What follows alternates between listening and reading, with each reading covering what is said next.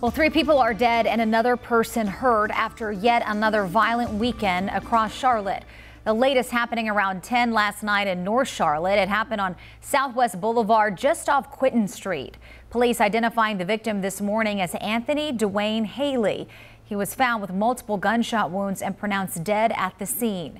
It came just hours after a shooting in South Charlotte where Reginald Gillickson was found shot on Atkins Circle Drive. Then on Saturday, police responded to two separate shootings. CMPD first went to Pepperdine Lane. Police eventually able to make an arrest there.